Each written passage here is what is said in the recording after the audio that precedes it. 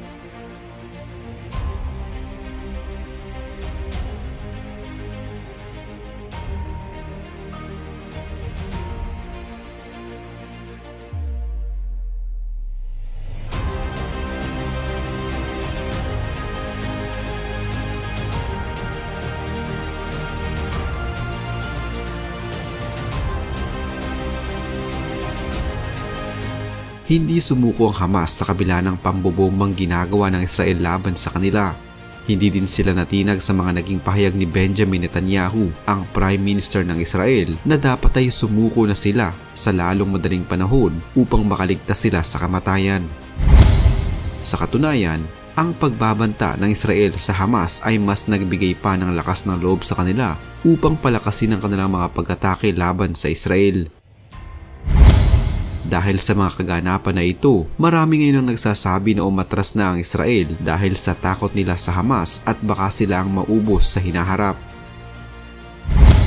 Kasunod ng mga balitang ito ng pagatras ng Israel ay ang mga balita din tungkol naman sa mga maling balitang inilalabas ng Israel sa publiko tungkol sa nangyayaring kaguluhan. Ayon sa mga eksperto, hindi umuno totoo ang pahayag ng Israel na nanghihina na ang Hamas at ang kaguluhan sa northern Gaza ay patapos na at ang tagumpay ay nasa Israel. Ang katotohanan, ang puwersa umano ng Israel ang unti-unting bumabagsak Bukod dito ay mali-mali din umano ang inilalabas na pahayag ng Israel tungkol sa mga bilang ng nasawing sundalo sa panig ng Hamas.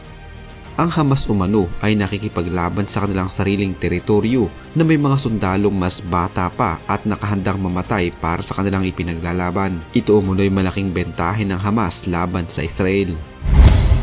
Ang ganitong klaseng umano ng kalaban ay mahirap na talunin lalo na ng isang bansang conventionally organized mas efficient din umano ang Hamas kung pag-uusapan naman ang paggamit ng mga armas pangdigma.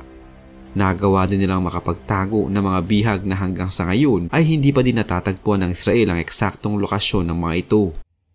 Madaling naiisahan ng Hamas ang puwersa ng Israel dahil mas organisado sila at mas planado ang kanilang bawat kilos. Kaya naman hanggang sa ngayon, kahit na sinasabi ng puwersa ng Israel na kontrolado na nila ang kabuuan ng Gaza Strip ay hindi pa din nila maubos-ubos ang Hamas at hindi pa din nila naililigtas ang mga bihag nito hanggang sa kasalukuyan. Madalas na sinasabi ng puwersa ng Israel na mas nakakaangat sila pagdating sa lakas at kagamitan pero hanggang sa ngayon ay hindi pa din nila nauubos sa mga tunnels ng Hamas at ang kanilang planong paggamit ng tubig upang palubugin ng mga ito ay hindi din naman naisa sa katuparan sa lahat ng tunnels hanggang sa ngayon.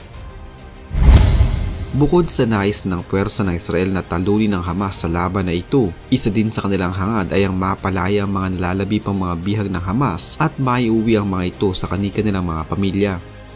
Pero hanggang sa kasalukuyan ay bigo pa din sila at ang mas masaklap pa, aksidente nilang napatay ang tatlo sa mga bihag na nais ng sumuko sa kanila. Dahil sa mga kasiraan na ito na naglalabasan, may mga nagsasabi na ito din marahil ang dahilan kaya umaatras na ang ilan sa mga units ng puwersa ng Israel. Bukod sa palpak umano ang kanilang mga nagiging plano ay wala na din silang sundalong ihaharap sa kanilang mga kalaban. Subalit nilinaw ng Israel na ang pag-pull out nila sa kanilang mga sundalo sa Gaza ay hindi upang sumuko kundi para mas palakasin pa ito. Mabilis ang naging mga pangyayari noong 7 ng Oktubre sa Israel kung saan sorpresang inatake ng nasa 3,000 mga miyembro ng Hamas na bigla na lamang sumulpot mula sa himpapawid, karagatan at kalupaan. Ang mabilis at biglaang pag-atake na iyon ay kumitil noong araw lamang na iyon ng hindi bababa sa isang libong mga tao habang nasa mahigit kumulang dalawang daang katao naman na walang piniling edad ang dinukot ng mga militanteng grupo at pilit na dinala sa kanilang mga kampo sa Gaza Strip. Nangyari ang lahat ng ito sa isang iglap lamang habang ang mga Hudyo ay nagdiriwang ng kanilang selebrasyon. At mula noon ay wala nang tigil ang naging palitan ng Hamas at ng Israel ng kanilang mga pag-atake at marami na ring mga sibilyan ang nadamay at patuloy pang nadadamay. Nangako noon ang puwersa ng Israel na gaganti sila, uubusin umano nila ang Hamas at hindi sila titigil hanggat hindi nila naipaghihiganti ang kapangahasang ginawa ng Hamas sa kanilang bansa. Ayon sa Hamas Health Ministry, nasa mahigit kumulang 20,000 mga tao na ang namatay mula nang magsimula ang kaguluhan. Ayon naman sa datos ng Israel Defense Forces, sa unang linggo noong Disyembre matapos masira ang ceasefire o tigil putukan sa pagitan ng dalawang panig, Nasa 75 mga rockets ang pinapadala sa Israel mula sa Hamas sa bawat araw. Subalit sa paglipas ng mga araw ay bumaba ang bilang ng mga rockets na ito hanggang noong nasa pagitan ng Disyembre 22 hanggang noong araw ng Kapaskuhan ay nasa 14 na lamang ng mga rockets ang naipapadala ng Hamas sa Israel. Tila isang pahiwatig ito na humihina na ang puwersa ng Hamas at mga kaalyado nito. Noong nakarang linggo lamang, nag-anunsyo si IDF spokesperson Rear Admiral Daniel Hagari na magkakaroon ng mga adjustment sa mga sundalo ng Israel na nakadeploy sa Gaza Strip sa kasalukuyan.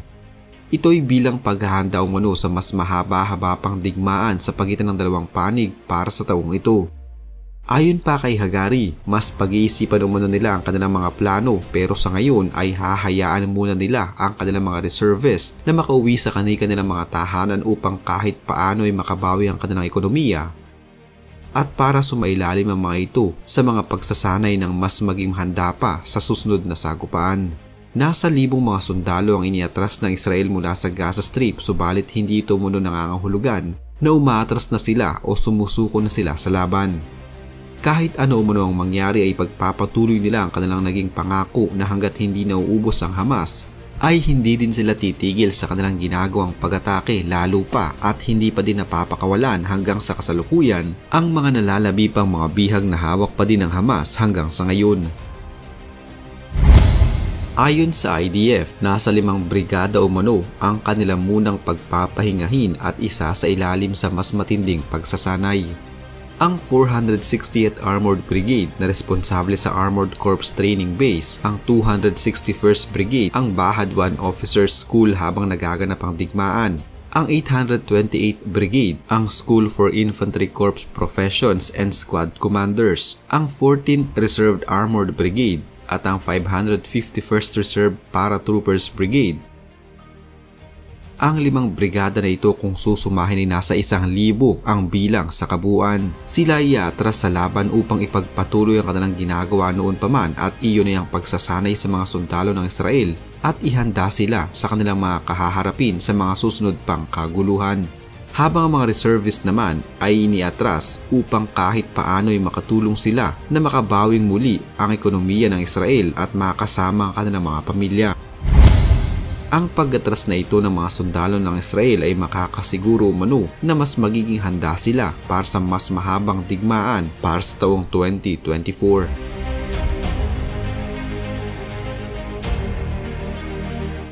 Isa na namang kwento ng pagbabalik tanaw sa kasaysayan ang naitampok natin ngayon. Huwag kalimutang i-like ang video ito at mag-iwan ng komento sa ibaba ng mga nais nyo pang malamang kwentong kasaysayan sa Pilipinas. Mag-subscribe na din para lagi kayong updated sa mga pinakabagong video dito sa Kasaysayan Pinoy. Magandang araw po at mabuhay ang bansang Pilipinas!